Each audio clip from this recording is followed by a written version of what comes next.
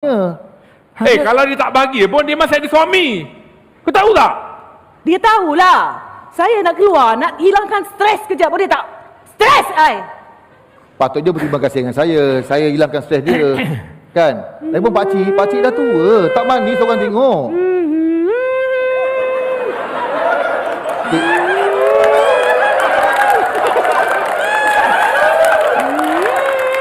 Ya.